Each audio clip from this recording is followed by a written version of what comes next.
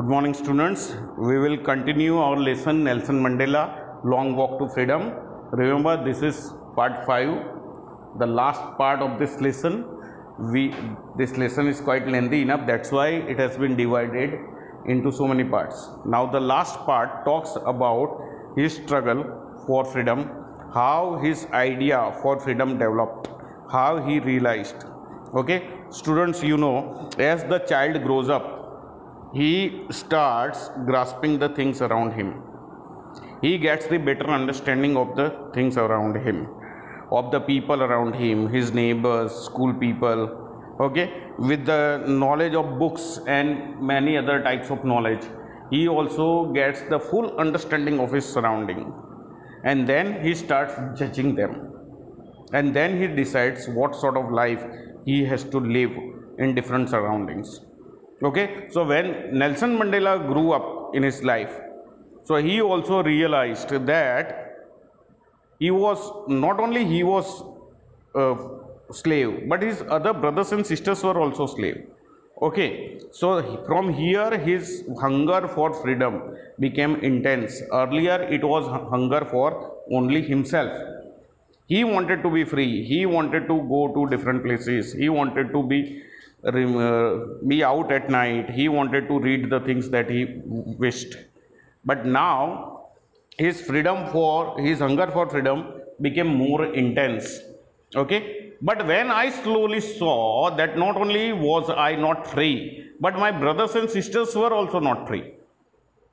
ये उसको पता चला कि मैं तो फ्री नहीं हूं मेरे ब्रदर्स और सिस्टर्स भी फ्री नहीं है यानी there entire community is facing this problem entire community is not free so now his hunger for freedom became the hunger for the freedom of his entire community. I saw that it was not just my freedom that was curtailed. I saw means I realized, I understood that not only my freedom was reduced, but the freedom of everyone looked like I did.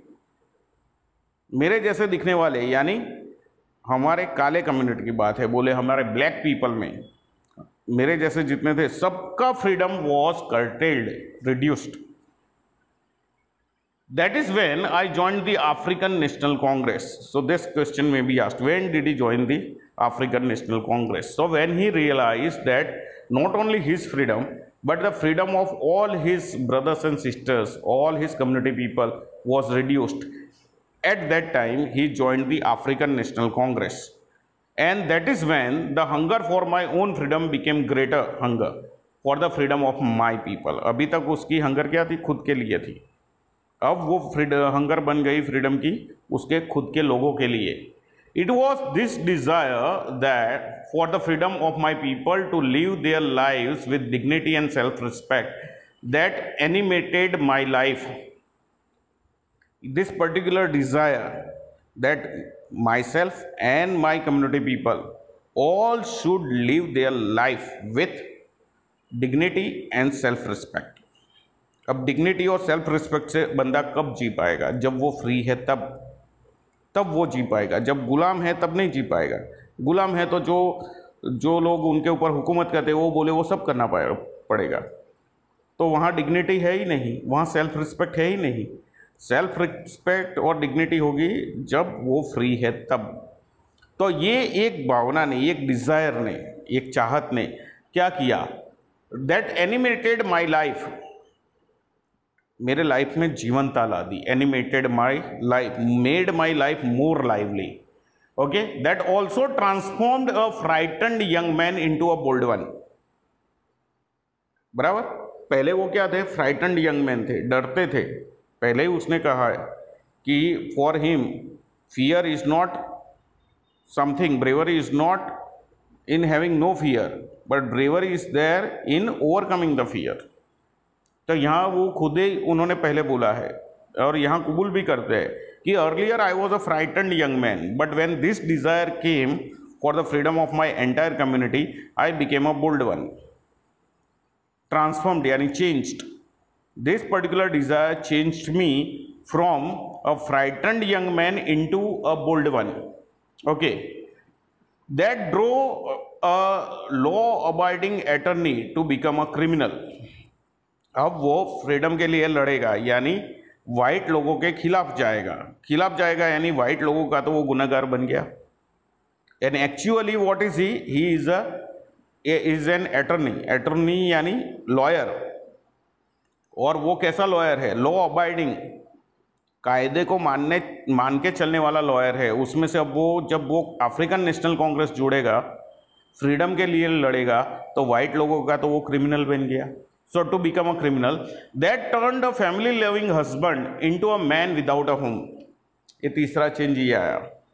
अभी तक क्या था? He was giving priority to his own family वो family loving husband था। अभी जब सबके लिए लड़ेगा तो क्या करेगा? तब वो वॉन्डरर बन जाएगा, भटकती आत्मा।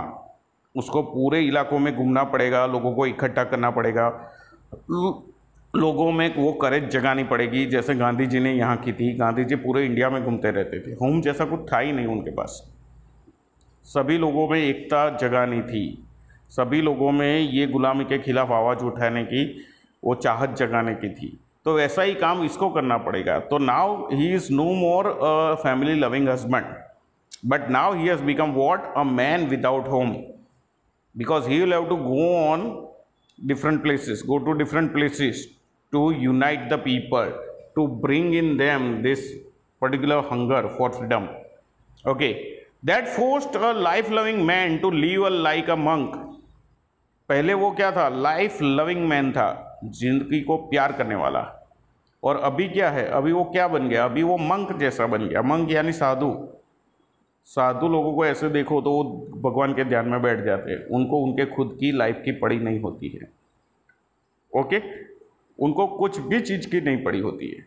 लाइफ लविंग पर्सन जो है, उसको हर हर एक चीज़ की ज़रूरत होगी। तो अभी वो लाइफ लविंग मैन में से क्या बन गया? एक मंक बन गया। साधु बन, साधु जैसा। Okay?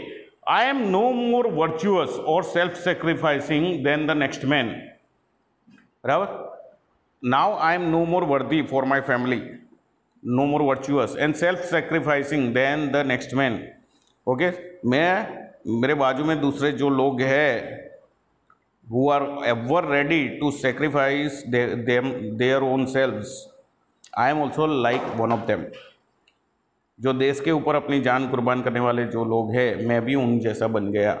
But I found that I could not even enjoy the poor and limited freedoms I was allowed when I knew my people were not free okay Gandhi ji भी लॉयर थे students okay okay? तो ये लॉयरों के जो court में होते हैं, उनको थोड़ी ब्रिटिश टाइम में थोड़ी छूट छाट मिलती थी। बराबर?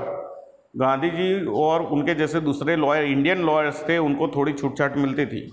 But then also he fought for the entire India क्यों? उनमें भी यही फीलिंग थी कि when my own people are not free how can I enjoy even this limited freedom मेरे खुद के लोग फ्री नहीं है, आज़ाद नहीं है तो मुझे थोड़ी बहुत आज़ादी मिली है, वो मैं कैसे एन्जॉय करूँ? Now same feeling came in Nelson Mandela also freedom is indivisible freedom सबको होना चाहिए। ये इनडिविजिबल है, यानी कैन नॉट बी सेपरेटेड बराबर? The chains on any one of my people were the chains on all of them हमारे लोगों में से किसी के भी ऊपर हथकड़िया है, यानी सबके ऊपर हथकड़िया है। बराबर? जंजीरें है तो सबके ऊपर जंजीरें है। The chains on all my people were the chains on me और हमारे कोई भी लोगों के ऊपर ये चेन्स है, जंजीरें है तो वो मेरे ऊपर है। भले उसके ऊपर ऐसे नहीं है, पर वो दूसरे को जब देखता है जंजीरों में, उनके ही कम्युनिटी के दूसरे लोगों को देखता है जंजीरों में बंधे हुए। Then he says that actually they are also the chains on me okay I knew that the oppressor must be liberated just as surely as the oppressed अब ये एग्ज़ाम्पल देख के ये लास्ट पॉइंट पे अपने आते हैं। यहाँ अपने already we saw how freedom the hunger for freedom change him and now he gives his idea about the operations and the oppressed जुलम करने वाले और जुलम सहने वाले। दोनों के बारे में उसके क्या आइडिया है? तो वो बताते हैं कि जैसे ऑपरेस्ट लोग जिसके ऊपर जुलम होता है, वो फ्री नहीं है, वैसे ऑपरेसर भी बोले फ्री नहीं है। दोनों को मुक्ति चाहिए। किसमें से मुक्ति चाहिए? A man who takes away another another man's freedom is a prisoner of hatred ये ऑपरेसर इनके ऊपर राज करते हैं, इनके ऊपर जुलम करते हैं। तो बोले, ये तो इनके सिखा रहे हैं ऑपरेस्ट लोग। बराबर, जो जुलम सहते हैं, वो तो जुलम करने वालों के शिकार है ही। वो फ्री नहीं है। वैसे ऑपरेशन जो जुलम करते हैं बोले they are also not free वो कैसे फ्री नहीं है? तो they say that they are the slaves of their own hatred उनमें बहुत सारी हेट्रेड भरी हुई है इन लोगों के खिलाफ। तो ये लोग अपनी हेट्रेड के गुलाम हैं। So they should also be free from their hatred उनको भी अपनी ये नफरत की जो भावनाएँ हैं, उनसे फ्री होना है। इन लोगों को इनसे फ्री होना है। और इन लोगों को अपनी हेट्रेड से फ्री होना है। That's what he talks over here okay a man who takes away another's freedom is a prisoner of hatred वो, ये नफरत की भावनाओं का वो गुलाम है। He is locked behind the bars of prejudice and narrow mindedness बराबर? तो वो किसका, किसकी जेल में बंधा हुआ है? तो प्रेजुडिस प्रेजुडिस यानी पहले से ही तुमने कुछ सोच लिया दूसरे कम्युनिटी के बारे में, ये ऐसी है ऐसी है ऐसी है। Negative thinking about the another community okay a strong dislike without any good reasons इसमें कोई रीज़न नहीं है इसके बेस पे। बस ऐसे ही पहले से ही मान लिया। सो दैट इज़ ये क्या है? Preconceived opinion about another community and narrow mindedness तो ये ऑपरेशन है they are behind the bars of prejudice and narrow mindedness ये दोनों की जेल में ये लोग हैं। पूर्वाग्रह की और ये नैरो माइंडेडनेस बराबर? संकुचित मानसिकता के वो शिकार है तो उसमें से उनको फ्री होना है। I am not truly free if I am taking away someone else freedom now he gives his own example कि जब मैं किसी का फ्रीडम छीन लेता हूँ तो क्या मैं खुद फ्री हूँ? वो तो चलो मेरे गुलाम हो गए, पर मैं खुद फ्री हूँ। No just as surely as I am not free when my freedom is taken from me बराबर, जब मैं किसी का फ्रीडम छीन लेता हूँ तो वो फ्री नहीं रहते। वैसे मेरा फ्रीडम कोई छीन लेता है। बराबर तो मैं तो फ्री नहीं हूँ, मेरे साथ वो भी फ्री नहीं है। The oppressed and the operation alike are robbed of their humanity यहाँ इंसानियत दोनों में से किसी में नहीं दिखती है। इंसानियत वो ऑपरेस्ट लोग है, उनकी छीन ली है ऑपरेसरों ने। और ऑपरेसरों की इंसानियत छीन ली है, उनकी उन्होंने उनमें जो इंसानियत थी, वो छीन ली है the feelings like hatred narrow mindedness and prejudice okay so students here he gives us some understanding about his idea of oppressors and oppressed and that's where students we end this lecture and this lesson. The question answers are quite easy. Okay? Look at the question answers on page 18 those are short answers uh, students. Where did ceremonies take place? Can you name any public buildings in india that are made of sandstone? Okay? So the ceremony took place in the amphitheater, Union Buildings Amphitheater, made up of sandstone in Pretoria. And any such building in India is what? There are many. Okay. Rashtrapati Bhavan is made up of sandstone. Red Fort is made up of sandstone. Okay. So those are Qutub Minar is made up of sandstone. So those are a few buildings in India. You can name them. So those are short answers can you say how 10th may is an autumn day in south africa? So i already told you ki the season of autumn in south africa is from 1st march till 31st march. And ceremony took place on 10th march. So 10th march also is a day of an autumn season. Okay. Then we go to the next question. At the beginning of his speech mandela mentions an extraordinary human disaster what does he mean by that? What is the glorious human achievement he speaks at the end? So that I made very clear when I was taking the lesson. कि an extraordinary human disaster is nothing but the policy of apartheid which is a political system which separates the people on the basis of their color that was extraordinary human disaster which continued for 80 years glorious human achievement is nothing but the freedom they have got and they have this first black south african president. That is their glorious human achievement.